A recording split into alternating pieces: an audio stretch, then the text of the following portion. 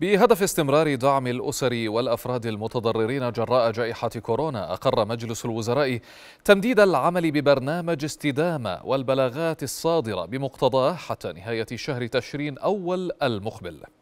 مجلس الوزراء وخلال جلسته التي عقدها اليوم برئاسة رئيس الوزراء الدكتور بشر الخصاونة أقر نظاما معدلا لنظام الخدمة المدنية لسنة 2022 كما وأقر المجلس أنظمة معدلة لأنظمة الأمانة العامة للمجلس القضائي والمعهد القضائي والمكاتب الفنية لدى محكمة التمييز والمحكمة الإدارية العليا ومحاكم الاستئناف والتفتيش القضائي على المحاكم النظامية. ووافق مجلس الوزراء على نظام معدل لنظام رواتب وعلاوات أفراد الأمن العام لسنة 2022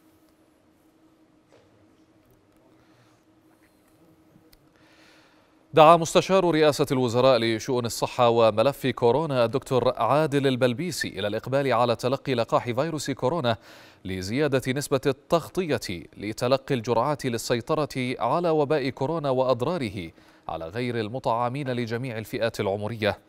وأضاف البلبيسي أن المملكة سجلت نسبا مرضية بتلقي الجرعات المختلفة مؤكدا ضرورة تلقي الأشخاص الجرعة المعززة بعد مضي ستة أشهر على تلقي الجرعة الثانية أو الثالثة وخاصة كبار السن والفئات التي تعاني من أمراض مزمنة بهدف رفع نسبة المناعة ضد الفيروس. وبين أن الحملة الوطنية للتطعيم ضد كورونا مستمرة في مراكز مختلفة من المملكة ويعلن عن مواقعها يوميا عبر موقع صفحات وزارة الصحة الإلكترونية. قال رئيس مجلس محافظة الزرقاء دكتور ماجد الخضري إن وزارة الصحة قررت هدم مستشفى الزرقاء الحكومي القديم الذي بني في وسط المدينة عام 1951 وبين أنه سيتم استثناء مبنى الإدارة ومركز الأمومة من الهدم وتأهيلهما وسيصار لإنشاء مركز صحي شامل في موقع المستشفى. وبين أيضا أن التقارير الفنية تشير إلى أن أجزاء كبيرة من مبنى المستشفى متهالكة ومعرضة للانهيار. وأشار إلى أن عمليات الهدم ستتم في غضون أسابيع وستكون مخصصاتها من وزارة الصحة. في حين ستكون مخصصات إنشاء المركز الصحي الشامل من مجلس المحافظة.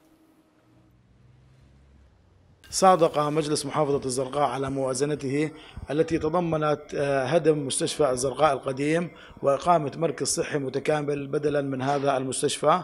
ونتوقع أن يكون ذلك بإذن الله سبحانه وتعالى في غضون أسبوع إلى أسبوعين حيث سيتم مباشرة عملية الهدم من خلال وزارة الصحة. وإنشاء المركز جاء من مخصصات مجلس محافظة الزرقاء لعام 23 أي أن ذلك المشروع سيتم المباشرة به في غضون أربعة أشهر إن شاء الله. قالت اللجنة الإدارية النيابية خلال اجتماعها اليوم إنها ستتبنى مذكرة نيابية ترفعها إلى الحكومة تطالب فيها بضرورة توفير مبلغ مالي لتعيين ستة ألاف معلم ومعلمة في وزارة التربية والتعليم. وبحسب رئيس اللجنة النائب الدكتور علي الطراونة فإن التعليم النيابي أوسط بالتنسيب بالناجحين من الكشف التنافسي 2019 للعمل الإضافي وتثبيت المعينين في العمل الإضافي إذا توفرت الشواغر في الوزارة. وأكد الطراون خلال الاجتماع الذي حضره رئيس ديوان الخدمة المدنية وأمين عام وزارة التربية والتعليم للشؤون الفنية والإدارية وعدد من دفعة الكشف التنافسي لعام 2019 على ضرورة التعيين على الأقدمية وليس على نتيجة الامتحان.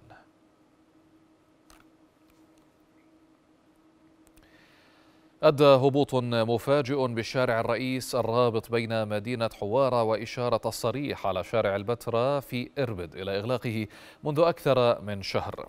المواطنون قالوا إن استمرار إغلاق الإشارة تسبب بأزمة سير خانقة ما دفعهم للبحث عن طرق بديلة للوصول إلى منازلهم فضلا عن التسبب بحوادث مرورية.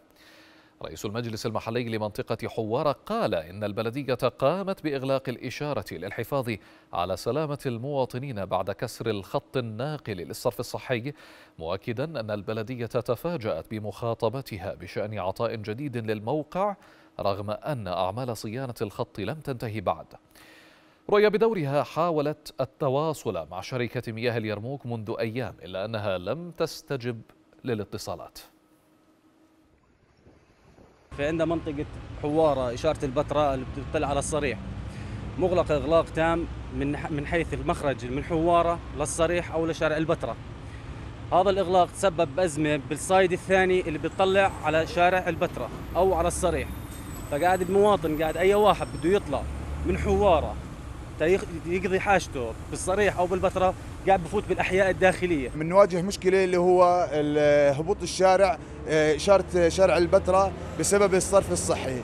من تقريبا سنة تم تم تم عملية هبوط الشارع وتم بعد شهر تماما بعد إغلاقه شهر كامل تم إعادة عملية صيانة الشارع وتجهيزه. تفاجئنا تقريبا من 10 أيام أسبوعين 10 أيام نفس المشكلة اللي كانت قبل عام رجعت من أول وجديد الشارع مغلق بسبب نزول خط الصرف الصحي. خط الصرف الصحي للأسف ما له شهور تم العمل على تغيير البنية التحتية من أجل إنهاء خط مشكلة الصرف الصحي الموجودة. إلا أنه وللأسف تفاجئنا أنه المشكلة رجعت زادت من أول أبو جديد. وتم الاتصال عدة اتصالات مع المسؤولين وتمت الوعود على حل المشكلة. والشارع مغلق من قبلنا من قبل بلدية إربد الكبرى ومنطقة حوارة بخصوص العمل لإنهاء المشكلة. ضمن مشروع العلاج بالفن لمتلازمة داون أقام منتدى رواد الشمال للثقافة والفنون وإحياء التراث عرضا مسرحيا توعويا بهدف صقل شخصيات المصابين بمتلازمة داون ودمجهم بالمجتمع من خلال تدريبهم على العديد من الأعمال الفنية كالرسم والصناعات اليدوية. رئيس المنتدى إبراهيم أبو عاشور أوضح أن المشروع انطلق عام 2020 بهدف إيصال رسالة للمجتمع أن الفن ليس للرفاهية وإنما أيضا لتوصيل الأفكار حيث بدأ المنتدى بتعليم الأشخاص المصابين بالمتلازمة بأعمال الآكريليك والموسيقى والرسم التعبيري وغيرها من الأعمال الفنية.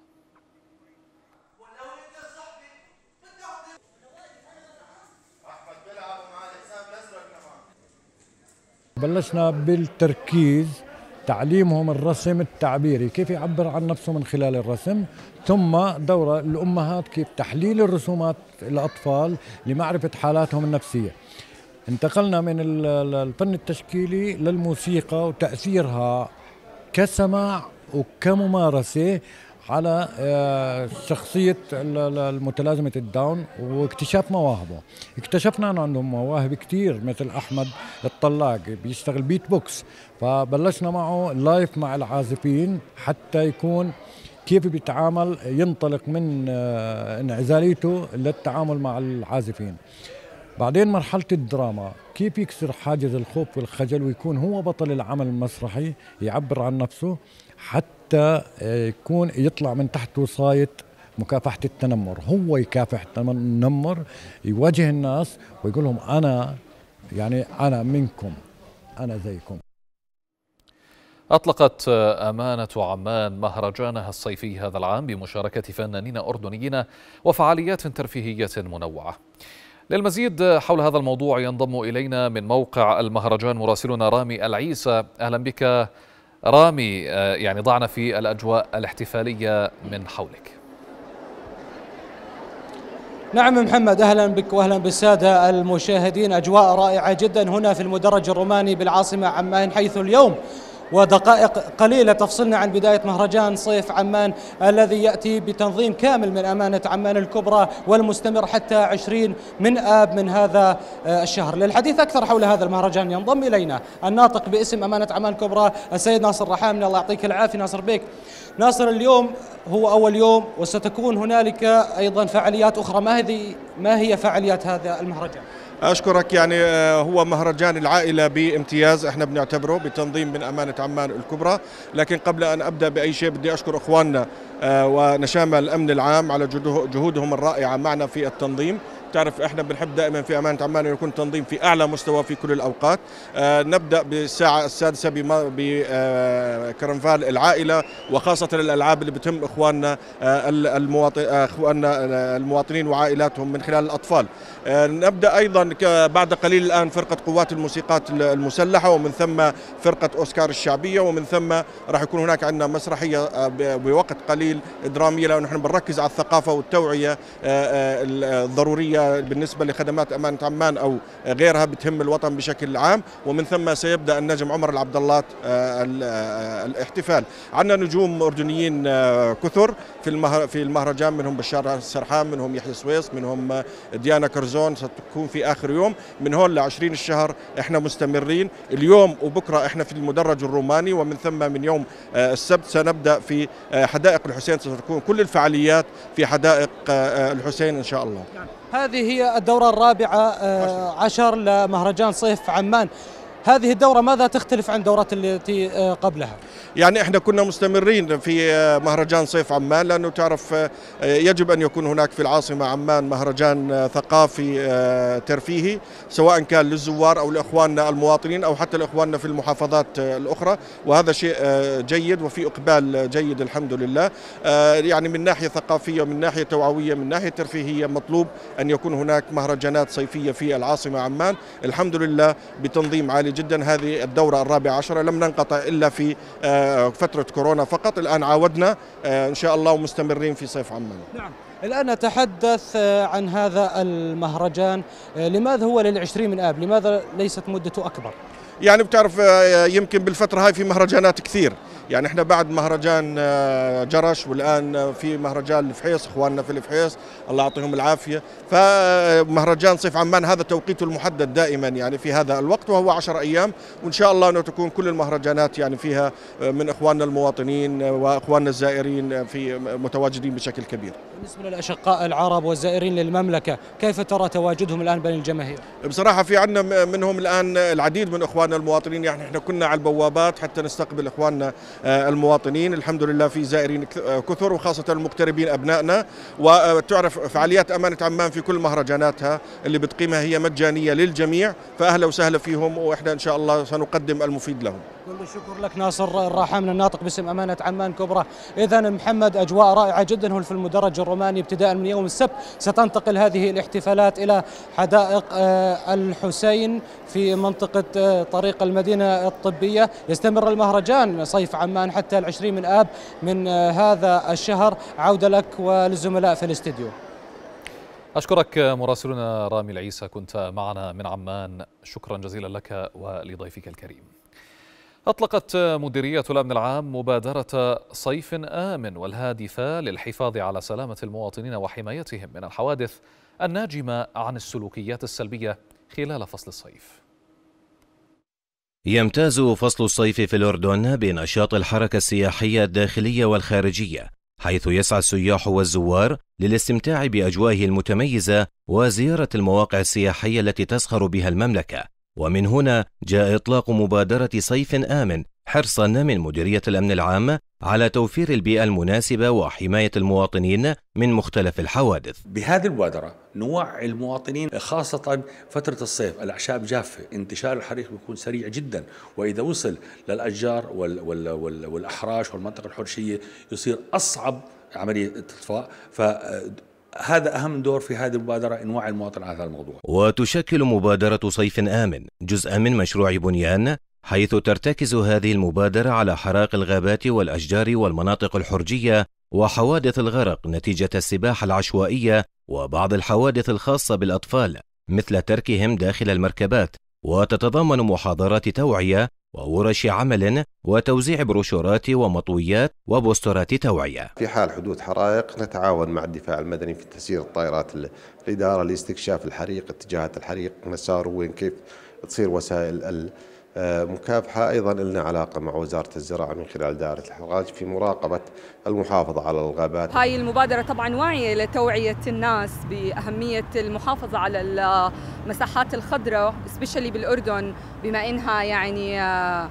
ملتجأ لكثير سياح وناس بيجوا من الخليج ومن الدول المجاورة للاستمتاع بالطقس الجميل. يشار إلى أن مبادرة صيف آمن. ستشمل كافة مناطق المملكة حيث تعول مديرية الأمن العام على وعي المواطن وتعاونه وحرصه على انتهاج السلوك الصحيح والقويم والابتعاد عن السلوكيات السلبية الخاطئة التي من شأنها التأثير على سلامتهم.